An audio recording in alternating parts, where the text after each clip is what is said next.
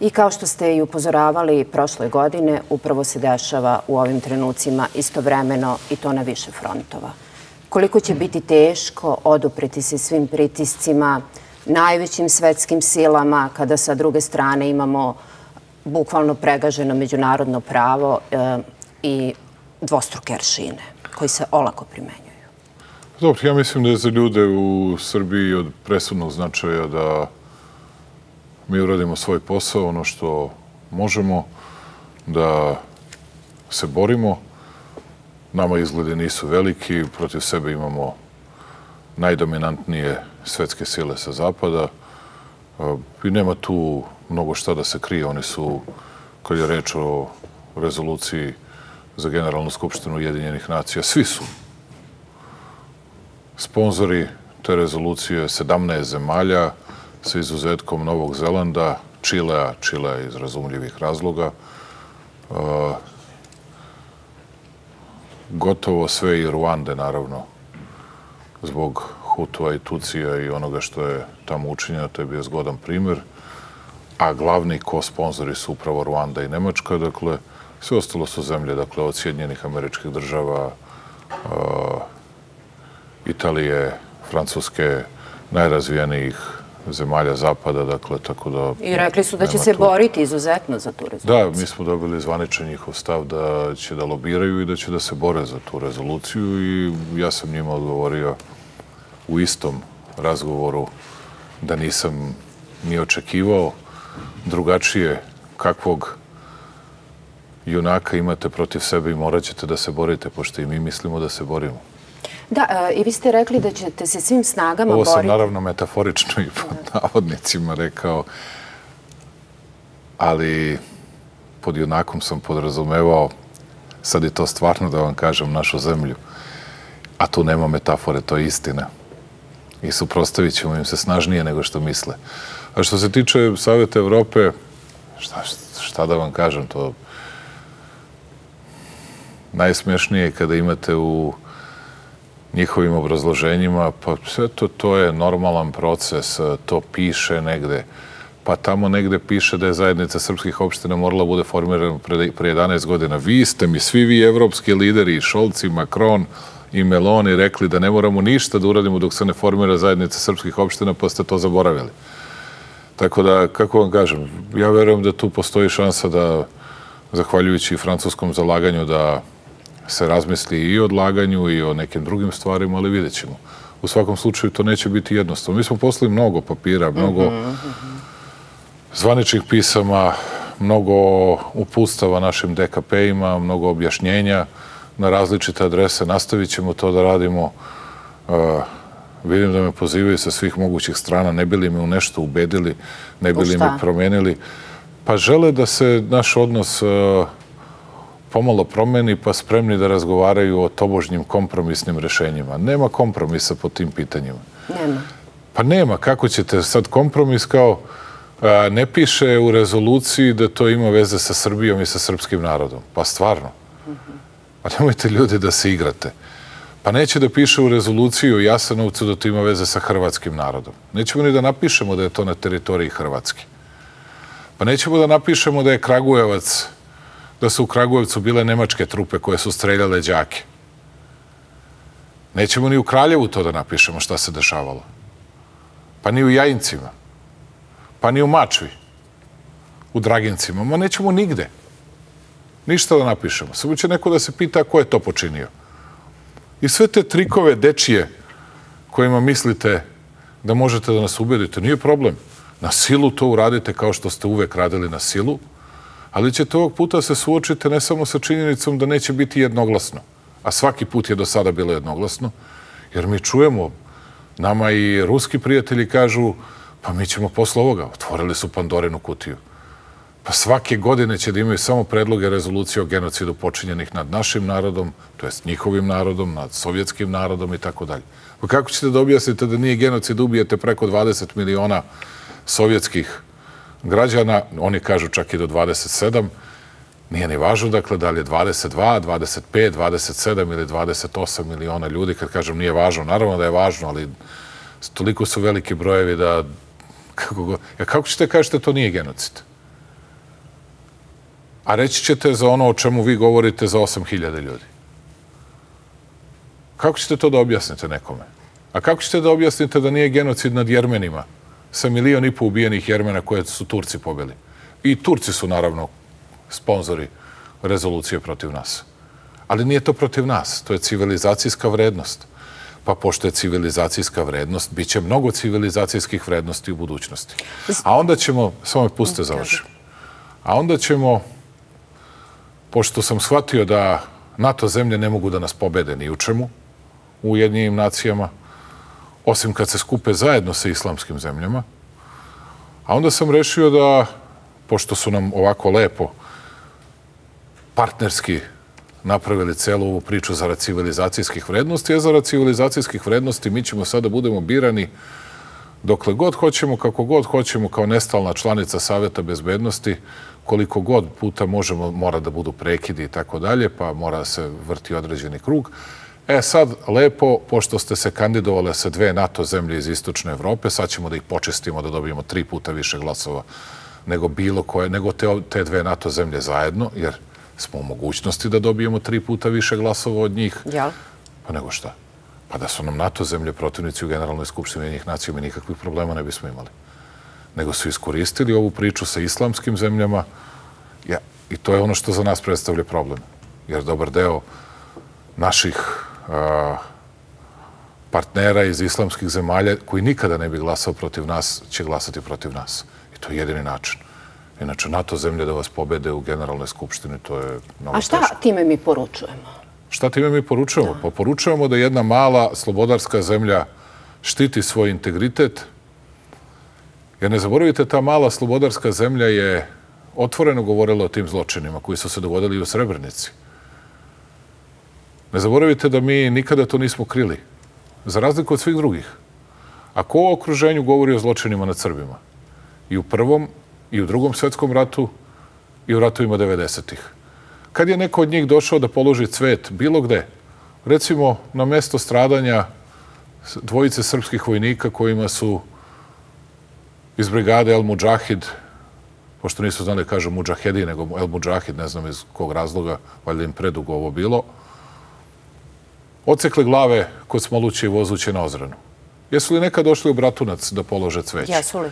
Pa nisu, naravno. Ne dolaze ni stranci, jer Srbi i nisu baš neki ljudi.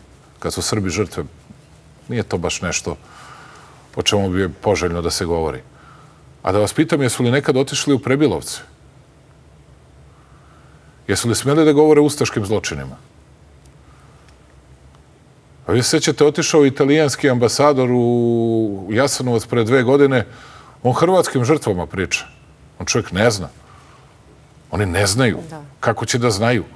Kao i danas. Srbima izgleda dozvoljen, posebno srpskim funkcionerima, ulazak u Jasanovac samo kad taj logo radi. Da, videli smo šta se dogodilo juče. A videli smo šta se dogodilo, Da. posebno od e, 41. do 45. godine. Taj logor, cela Evropa oslobođena, Jasanovac nije oslobođen. E, tad je bilo mjesta za Srbe. Tad su srpski funkcioneri mogli u Jasenovac, a danas ne mogu. Dakle, hoću samo vam kažem, za šta se borite? Pa borimo se za istinu. Borimo se za istinu i napravit ćemo im nešto što nisu očekivali od male Srbije. I to će da vide. To će da vide. Ponosan sam na to. Jedan glas kada dobijete, ponosni ste zato što znate da niste sami u svetu. Tako je. Vi ste, vi ste juče i rekli e, da imamo partnere i da imamo prijatelje. I da ih treba razlikovati i jasno definisati. e, Ne možete da kažete da. da. da su vam prijatelji oni koji vam komadaju teritoriju i pri tome to nazivaju civilizacijskom vrednošću, pri tome nazivaju to prijateljskim odnosom prema Srbiji. Hvala ti. Mnogo te poštojem, mnogo si jak. Bićeš nam partner u milion stvari. Ali nemoj baš da se družimo. Nemoj baš da nam pričaš o tome da bi nam bio dobar gost na slavi i mi tebi da dolazimo na slavu. Nema baš previše smisla. Tako da nikome ništa nismo loše rekli, nikome ništa ružno nismo uradili, ali ono što je važno to je da uh, ljudi znaju da napravimo tu razliku i sada ćemo imati više nego dobrih prilika da napravimo razliku između partnera i prijatelja. Nastavit ćemo saradnju sa partnerima, ali znaćemo ko su oni koji zovemo na slavu i kod kojih idemo na slavu. Metaforično govoreći. E, da, e, već od 20. aprila, 20. aprila idete u New York, kako se ne varam? Da, danas sad idemo u Mostar, a u subotu idemo u New York. Već 21. imamo neki sastanak, a 22. je sednica Savjeta bezbednosti o Kosovo i Metohiji, redovna, sa prvi put vrlo neizbalansiranim i lošim izveštajem UNMIKA, jer neredko su oni pravili vrlo pristojni i dobri izveštaje. Ovoga puta taj izveštaj uopšte ne odslikava Da li je i to sve u vezi sa ovim Metohiju. pritiscima koji se istovremeno dešavaju? Pa slušajte, ako mislite da nije sve u vezi sa tim, evo, zamolit ću vas da pogledate današnje novine u regionu. Pretpostavljam da niste imali vremena. Pogledala sam. Gledali ste, ste primetili jednu čudnu stvar. Sarajeva. Da ste videli jednu čudnu stvar kad govorite baš i o Sarajevu, i o Podgorici, i o Beogradu. Teško da ste mogli taj detalj da zapazite. Dakle, e, suština je u tome da su u svim novinama izašli copy-paste, istovetni tekstovi o srpskim rafalima. Dakle, oslobođenje, vijesti, danas potpuno isto. To vam je ta ista organizacija, negde slični vlasnici, ali uvek dominantan uticaj iz polja. O čemu je reč? Srbija krši stabilnost u regionu nabavkom Rafala. Srpski vojni budžet je veći nego svih ostalih zajedno. Aha. A onda se pitate i važno je da naši gledalci znaju da ni jedan takav tekst nije izašao kada su Hrvati nabavili 12 polovnih Rafala. Hrvati koji su gotovo dvostruko manji od Srbije, dakle. Članica su NATO i niko se nije pitao šta će Hrvati imati Rafali. Niko se nije pitao zbog čega ih nabavljaju. Niko nije rekao da je to kršenje bilo kakve regionalne stabilnosti ili nešto što bi trebalo da loše utiče na region, ali onog sekunda kada Srbija se ponaša odgovorno i kao jedina vojno neutralna zemlja želi da pokaže da će da bude tvrd orak za svakoga, jer Srbija nikoga nije napala, samo ste vi napali Srbiju. I iz NATO-a i neki iz regiona. I komadali joj teritoriju. Nikoga mi nismo napali. Ali baš ih briga. Što manje istine, to će više da bude ovakvih floskula, napada, zato ste mogli da slušate kada ne znaju da mi odgovore. Ukažite mi na činjenice, a zašto na 29. godišnjicu, što niste čekali 30. godinu, što niste na 25 godina, što niste bilo šta? Objasnite mi što, što se žurite toliko. Zato što sve mora da bude Ne, ne, njihov odgovor je, aha, ti Šešeljev potrčko koji si ubijao i snajpera oko Sarajeva, pucao po ovome, po onome, prvo lažete. Lažete već 12, 13 godina, Bog zna koliko. I baš vas briga što lažete. Nastavit ćete da lažete. Zato što je laž postala sastavni deo vašeg, kako to klinci kažu, e, oditovanja i svega onoga što predstavljate. Ali niste u stanju da mi odgovorite. Niste u stanju da mi kažete, a šta smo mi to recimo loše uradili prema bošnjacima u poslednjih 12 godina. A ja mogu da vam kažem bezbroj dobrih stvari koje ni Tito nije uradio za njih. A šta ste uradili prema Srbima? A kako da uradite prema Srbima u Bosni i Hercegovini kad niste ni prema, ni, ni, ni prema bošnjacima uradili ništa? Dobro i pozitivno. I kada takva pitanja postavite, oni kažu, aha, Šešir je po točku. Okej. Okay. Snajperom si. Nisam nikad imao snajper u životu. Čak ni u vojsci gde sam bio u nekim specijalnim ešelonima, pešadijskim, nemam pojma kako se to zove, a ešeloni i tako dalje. E, slučajno nisam imao snajper. Dakle, nema, ljudi, ali koliko vole da lažu, to je fascinantno. E, e, I upravo s tim u vezi, Beograd... Kao i za druge... pušku oko Sarajevo koje govori, a ono stativ od kamere, mislim. I, I sve vam je tako. I baš ih briga što lažu. Beograd širi e, ruke pomirenja u regionu e, i delima i upravo danas, e, posle 33 godine, ako se ne varam, avion Air Srbije će poleteti za Mostar. To su naši interesi. To su naši interesi, idemo u partnersku zemlju. Ali i politika. Logično, u svemu imate politiku. Dakle, logično, to je nama partnerska zemlja, idemo u partnersku zemlju, sačekat će nas ljudi iz rukovodstvo Bosne i Hercegovine, Mostara, razgovarat ćemo sa njima, večeras će biti Plenković, pretpostavljam na večeri, razgovarat ćemo sa svima, to su nama partnerske zemlje, I Kao da ne postoje posao... svi ovi tekstovi. Nije kao da ne postoje. Upravo sam trebalo da primetite razliku u jeziku. Mhm. Upravo vam govorim partnerske zemlje. Dakle, postoje razlike. Partnerske, neprijateljske, tako. Dobro. U redu, završite. Izvinjavam se.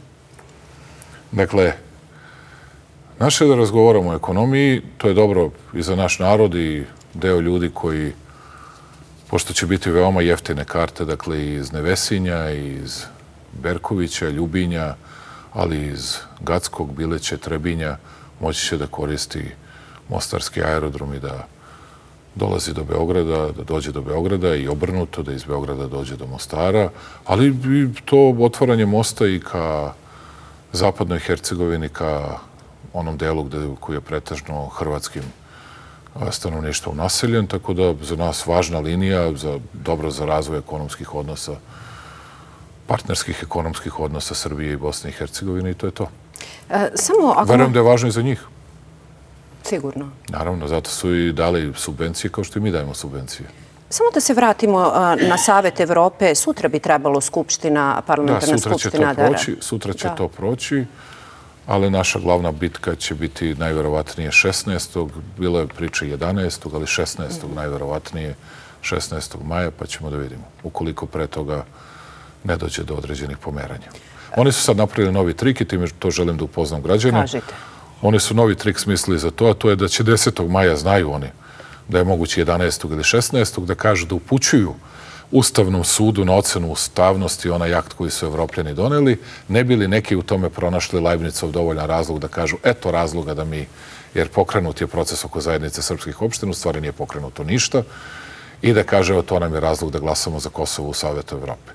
Tako da to je nešto što će se dešava. Ono što je važno za ljude to je da mi nastavimo naš ekonomski razvoj, to je da radimo što više. U februaru su izvanredni brojevi, u martu očekujemo da budu veoma dobri brojevi, da nastavimo da radimo sa svim partnerima, da nastavimo da radimo naravno sa svim prijateljima, da razvijamo svoju zemlju, da nastavimo sa industrializacijom, ja ću imati nekoliko važnih i otvaranja fabrika i postavljanje kamena temeljaca, da nastavimo sa ekspom, da nastavimo sa ulaganjem, da nastavimo sa građevinskom industrijom, da nastavimo sa našim infrastrukturnim projektima velikim, jer ne zaboravite, ja neću da krijem ovo, da platite Rafale uh, nove Rafale, Dobro. novu generaciju, to je veoma skupo, to je izuzetno skupo, mali broj zemalja to sebi a, i to čitavu eskadrilu da kupite. Novih aparata, to je veoma, veoma skupo, mali broj zemalja to sebi može da priušti, što znači sad ćemo morati malo da se stisnemo, da vodimo računa o svakom dinaru, da brinemo o svemu, ali mi time snažimo svoju zemlju, njenu poziciju u regionu i odvraćamo svakog potencijalnog agresora. Ali u skladu sa tim morat ćemo da radimo još snažnije, još jače, da još više gradimo, da se još više borimo. I Srbija će po tom pitanju, uveren sam, imati uspeha. Što se tiče penzija i plata, ljudi ne moraju da brinu, ne samo što je redovno, već ćemo mi, kada dođe vreme, dakle, u narednim mesecima, pre kraja godine razmišljati i o daljem povećanju penzije i plata. Brine nas povećanje cena nafte, ali tu ćemo gledati, pošto dolazi redovna akcizna povećanja početkom maja, kako i na koji mhm, način da mhm. to demfujemo i da to spustimo, da to ljudi ne osete u potpunosti, tako da idemo uskoro na izbor vlade, da bi, ja verujem da u narednih 10-15 uh, dana bi trebalo vlada da bude izabrana pre majskih praznika i da dočekamo i vaskršnje praznike, ali da dočekamo i veliki sabor sa Republikom Srpskom. Sa, novom, vladom, novim pa, sa novom vladom. To bi imalo smisla. Jedino sad, možda će i da pomeri za neki dan iza. Ne zavisi od mene, ali to je ono što bih ja volao u svakom slučaju i mislim da bi to bilo važno. Nadam se da poslanici neće da se ljute ako budu morali da rade za prvomajske praznike, pošto ja vidim da je taj odlazak na holiday najvažniji. Ali obratite pažnju na jednu stvar – kada sam govorio o ovoj sprezi dela Beograda, Sarajeva, Podgorice, Zagreba, uvek. Jeste li čuli šta o recimo rezoluciju u Srebrenici misli neki opozicioni politički krugovi? Jeste čuli? To je glavna tema ja već danima. U kom smislu? Pa jedino se time bavimo, to je glavna tema za sve u regionu, svuda osim za njih. Ja sam razumeo, ok, Vučić je ubica, kriminalac, uh, potrčko, bolesnik, ludak, peder, sve sam. Samo vas ne čuh šta mislite o Srebrenici. Što vam objasnim u čemu razlika. Razlika u tome što imaju politiku za narod, ćuti da nas ne čuju, da smo za rezoluciju o Srebrenici, a strancima, joj, strašno, one su, zamislite, protiv te rezolucije. E zato ljudi neće takvu politiku. Ljudi hoće političare koji imaju srce, koji imaju dušu, ali koji imaju hrabrosti da se isprse i da štite interese svoje zemlje, a ne da budu manji od makovog zrna na kanabetu u nekoj ambasadi i da nemaju nikakvu politiku, da nemaju nikakav plan, nikakav program, da im je jedini plan Vučić je najgori zlikovac na svetu. Nemam ništa protiv toga, ali zato sam ponosan na činjenicu što Srbiju predstavljaju neki drugi ljudi koji imaju i politiku, i plan, i program. I ljudi koji će da se bore za svoju zemlju, bez obzira na cenu koju će lično morati da plate i bez obzira na visinu i stepen pritiska kojima će da budu izloženi. I zato sam siguran da ljudi u Srbiji su ponosni na svoju trobojku, na svoju zemlju, jer naša zastava i naša zemlja veoma brzo postaće simbol otpora i simbol slobode širom sveta. Širom sveta. Šta? Videćete, videćete po brojevima o kojima vam govorim kolika snaga otpora će biti naše zemlje. Naravno, izgubit ćemo, ali silina našeg otpora bit će toliko velika da će se i silnici i nasilnici tom otporu iznenaditi. E, vi ste i rekli da želite da dokažete da Srbi nisu najgori narod na svetu, pre svega i da nismo genocidan. Ne, oni bi rekli, nismo mi to ni rekli, ne odnosi se to na narode, ali ne odnosi se baš ni na pojedince, znate, ne piše ime ni jednog pojedinca, ne piše ništa. Da, oni kažu ne okrivljuje se Srbije. Ne, ne, ne, pa to je civilizacijska vrednost. A tako ne, verujem da će se oduševljenjem prihvatiti rezoluciju o genocidu na teritoriji Republike Srbije tokom drugog svetskog rata. Nikoga ne okrivljujemo. Ili na teritoriji bivše Jugoslavije. Pa ko je sad u Jasenovcu počinio? Nikoga mi ne okrivljujemo. Ko je bacao ljude u Golubnjaču? Pa koga bismo mi okrivljavali? Zbog čega bismo mi to radili? Pa neće valjda takve civilizacijske vrednosti da ukidaju svetu, da se ne izjasne ljudi po tom pitanju. Nemoguće, ne verujem da je to moguće. Ali će imati prilike da se izjašnjavaju. Mnogo prilika će imati da se izjašnjavaju o različitim stvarima. Kao i o tome, recimo, kako će da nas pobede za nestalnu članicu Saveta bezbednosti. To će bude najzanimljivija trka. A imaju, to klinci peve na stadionu, bit će tesno, bit će 0-3. Eto, otprilike dobit ćemo, to nije tri puta više, moraju da daju jedan gol da bi bilo tri puta više, ali bit će trostruka razlika za nas u odnosu na NATO zemlje iz regiona. Tako da polako oni žele da pokažu da je Srbija krpa koju mogu da gaze svaki put kada pomisle, a mi ćemo da im pokažemo da mi nismo krpa. Da smo mi zemlja ponosnog i dostojanstvenog naroda koji će da se bori. Ali naroda koji, osim što štiti svoje pretke i svoju prošlost i svoju zastavu, svoje ime i prezime, mi smo ljudi koji gledamo u budućnost, i zato se bavimo ekonomijom, zato se bavimo razvojem naše, naše zemlje, najvažnijim projektima, zato u Expo da radimo, da ulažemo što je moguće više. Sve projekte ću da obiđem, ne u Beogradu, nego po Srbiji, koje gradimo u ovom trenutku, da ljudi to mogu da vide i danju i noću. Radimo u tri smene na izgradnji pruge do Subotice. Sada radimo mnogo više i prema Dimitrovgradu. Uskoro kreću radovi na Beograd, Niš, dakle Đune Stalać. Mnogo toga kreće. Tako da Srbija ide napred. Borit ćemo se i bez straha, jer su nas dotarali dotle i doveli do ugla u kojem nemamo šta da radimo već sa sve četiri noge da se branimo.